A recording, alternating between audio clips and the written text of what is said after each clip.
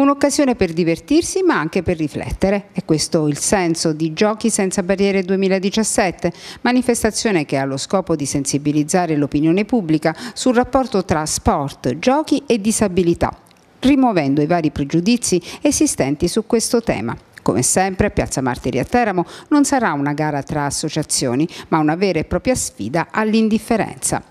L'iniziativa, che quest'anno ha anche il sostegno del COGE, Comitato di gestione del Fondo Speciale per il Volontariato della Regione Abruzzo, è promossa dal Centro Servizi per il Volontariato della provincia di Teramo insieme a Comune e Prefettura di Teramo. Anche quest'anno in piazza come sfida all'indifferenza.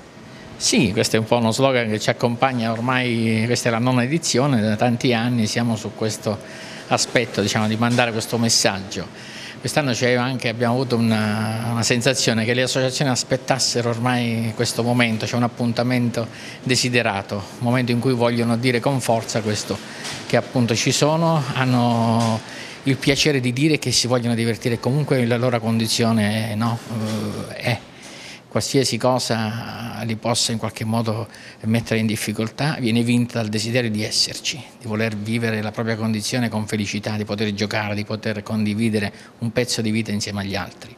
Quante associazioni fanno parte del vostro centro servizi?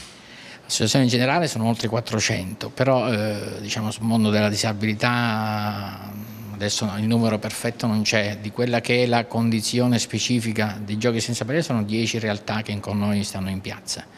Quest'anno abbiamo anche una, abbiamo avuto una, una chicca che è un osservatore del centro servizi di Pesaro sarà con noi questa serata perché vogliono anche loro, hanno visto che è un momento di grande diciamo, coinvolgimento anche della cittadinanza, farlo, proporre alle associazioni di Pesaro. Le protagoniste saranno, come negli anni passati, le associazioni dei disabili. Nelle sfide si alterneranno i ragazzi di Fondazione Anfas Teramo, Associazione Senza Barriere di Teramo, AISM, Associazione Sordi Italiani, Unione Italiana Ciechi e Ipovedenti, A Modo Tuo Onlus, Abruzzo Autismo Onlus, Associazione Italiana Persone Down e Cooperativa Sociale Polis. Quest'anno, ma come l'anno scorso, giocheremo con i nostri bimbi Speriamo che ne vengano tanti perché con questo caldo poverini sono al campus, quindi però sì, giocheremo tutti insieme, ci uniremo a altre associazioni, associazione Down per fare un gioco in piazza tutti quanti insieme. La vostra associazione quanti bambini autistici segue?